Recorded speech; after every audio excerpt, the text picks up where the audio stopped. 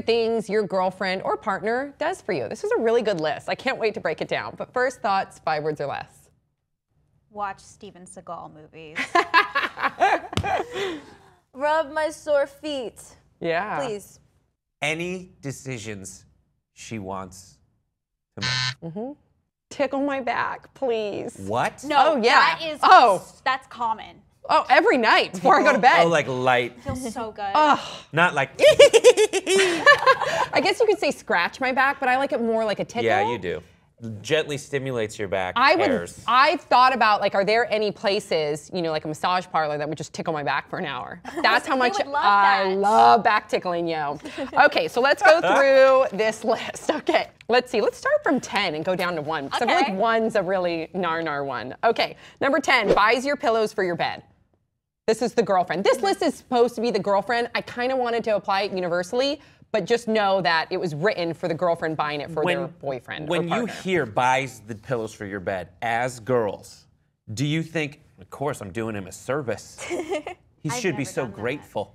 Oh, I've done that. I've done that too. Yeah, I'm just like, you have one thin ass, old ass pillow from what? Like your childhood bedroom? No. We need to spruce up some more pillow action, mainly for me. So when I go to bed, I have a down pillow, and then you have a nice down pillow too. Right. I guess I'm more of the, the in the scenario the dude just because I have one really thin pillow and everybody I know has a million pillows on their bed. I'm like, how? What is the point of these things, really, right? No point. Ha!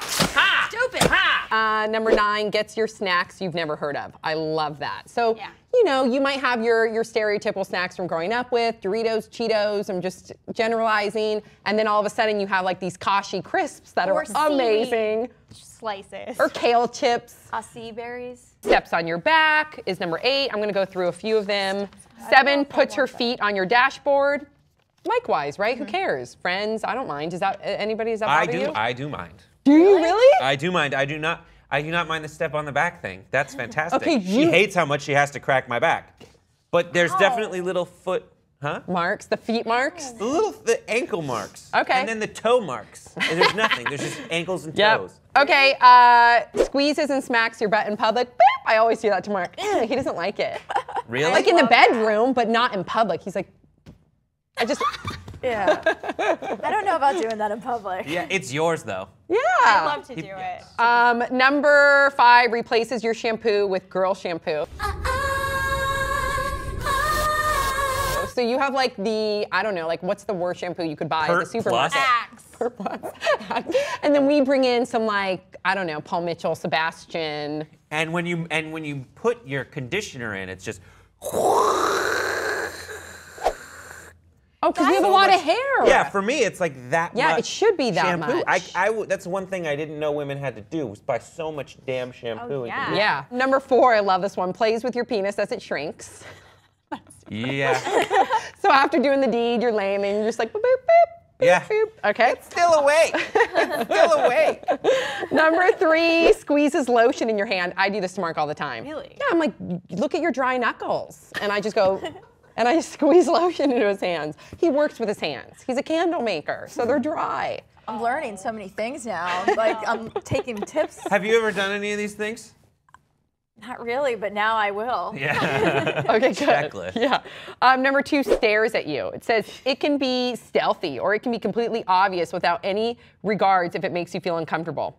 And it could be, they gave a number of examples like staring at you because you're like, oh, so annoying, you're chewing so loud, staring at you because you're gorgeous, or could be just staring at you because you look ugly that day. That's the examples they give. Hey, if you're in a long relationship, you go through those ups and downs where you're like, oh my God, stop chewing your cereal so loud, I wanna kill you. Lily, what are you eating? Gravel? Oh, I know, right? It sounds like cufflinks going up a vacuum cleaner. And then you look at him and you're like, I fing love you. Yeah, that's normal. I That's definitely. staring at people to get their attention. We're we're into that now because at the beginning, my girlfriend's instinct was to go like I was. Like you're a dog. Would you answer to that when she did that? When she I would go. You're like, yes, Well, here's the thing. In front of my boys, in front of my boys, I get no, no. So I need to just say, "Uh, my name's Brett. Use it. Thank you. Okay, the number one oh, weird things your girlfriend does, or partner, boy, whatever, to show how much he, she loves you.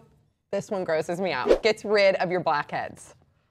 pops your pimples, right? Yeah, That's- pops your pimples. Getting Yeah. rid of blackheads is different than popping pimples. I feel like Because they're like so deep and Because I could be like, here, babe, here, here's a warm washcloth. Put this on your face, and then they do it, and then it's like, here's a blackhead scrub. Yeah. You know what I mean? Whereas popping pimples, it's like you go up and you pop somebody's pimple or that. yeah, I couldn't. I wouldn't do that. Nor would my husband let me. My husband would never allow me to. Oh no, she Do that. salivates when she sees one. Oh, me too. Yeah. I, I like just if even people I don't know, I'll stare at the pimple and I'll like want to pop it. Okay, you guys, please share your thoughts on this very weird list. Add any other weird scenarios that you may have encountered with your relationships, and we'll see you guys all next time on Pop Trigger.